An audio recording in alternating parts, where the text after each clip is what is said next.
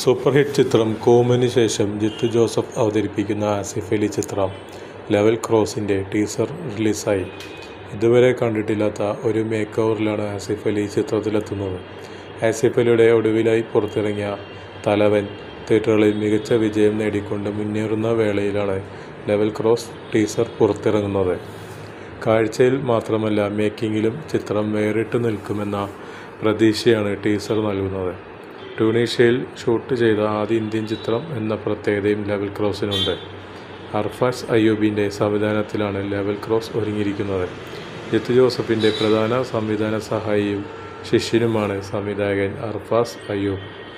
മോഹൻലാൽ നായകനായി എത്തുന്ന big budget ചിത്രം റാമിന്റെ നിർമ്മാതാവും അഭിഷേക് ഫിലിംസിന്റെ ഉടമയുമായ രമേശ് പി. പിള്ളയുടെ റിലീസിനെത്തുന്ന ആദ്യ മലയാള ചിത്രം കൂടിയാണ് ലെവൽ ക്രോസ്. സീതാരാമം ചിത്ത ഉറിയടി തുടങ്ങിയ ഹിറ്റ് സിനിമകളുടെ സംഗീത സംവിധായകനായ വിശാൽ ചന്ദ്രശേഖർ സംഗീതം ഒരുക്കുന്ന ആദ്യ മലയാള ചിത്രമാണിത്.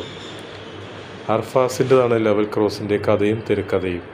ആസിഫ് അലി അമലപ്പോൾ ഷർഫുദ്ദീൻ കോമ്പിനേഷൻ ആദ്യമായി ഒന്നിക്കുന്ന ചിത്രം എന്ന പ്രത്യേകതയും ചിത്രത്തിനുണ്ട്.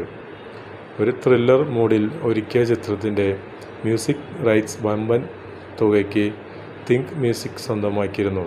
വിശാൽ ചന്ദ്രശേഖരന്റെ സംഗീതത്തിന് വരികൾ എഴുതിയത് വിനായക് ശശികുമാർ ആണ്. ഛായാഗ്രഹണം അപ്പു പ്രഭാകർ ജല്ലിക്കട്ട് ചുരുളി നൻപകൽ നേരത്ത് മയക്കം തുടങ്ങിയ ചിത്രങ്ങളുടെ എഡിറ്റർ ആയിരുന്ന ദീപു ജോസഫ് ആണ് ഈ ചിത്രത്തിന്റെയും എഡിറ്റർ.